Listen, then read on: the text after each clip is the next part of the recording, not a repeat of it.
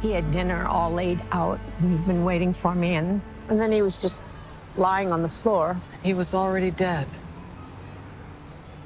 Well, he he started choking. You couldn't help him?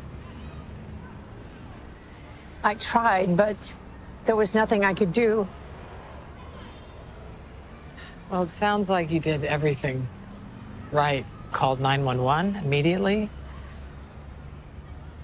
You checked the call log.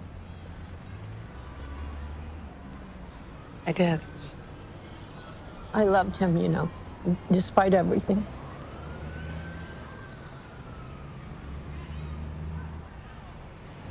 Do you believe me?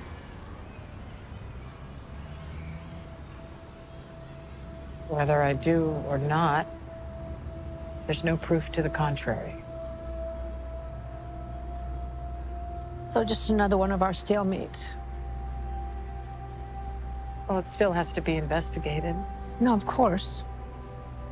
Should your investigation come up with anything other than what I've told you, You'll be the first to know. So we have an understanding.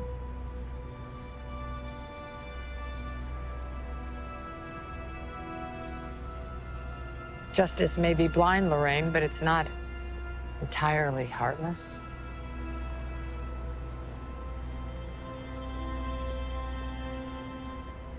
However, you you will see how heartless I can be